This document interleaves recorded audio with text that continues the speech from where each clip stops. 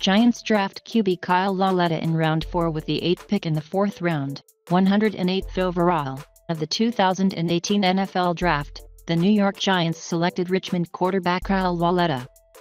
Here are 5 things to know about the new Giant. 1. He played in 40 games with 40 starts, throwing for 10,465 yards and 73 touchdowns to 35 interceptions with a 63.5 completion percentage. He also added 12 rushing touchdowns. 2.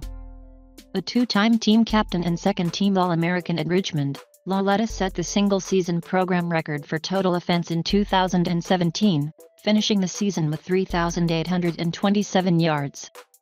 That included 3,737 through the air, the second highest single-season total in program history. 3.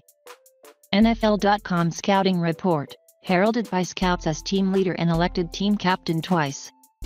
Production saw major spike over the last two seasons. Uses eyes to move linebackers out of his passing lanes on slants and curls. Won't automatically dump throws down to backs. Willing to let route combinations progress while climbing and sliding away from heat. Has experience from shotgun, pistol, and under center. Footwork is smooth in play action and setup. Comfortable throwing on the move. Gets it out early on timing throws.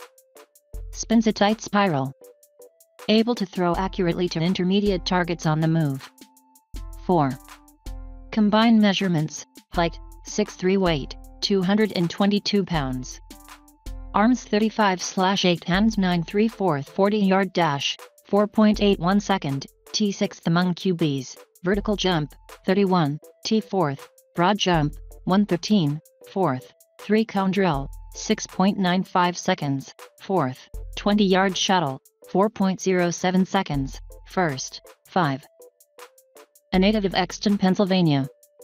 Lauletta was all Ches-Mont League and all Southeastern PA League at Downingtown East. His father, Joe, and uncle, Lex, played football at the Naval Academy. Lauletta was considered a major lacrosse prospect coming out of high school but ended up choosing football. He moved from running back to quarterback in high school, starting his junior and senior seasons with a 19-2 record and two league titles.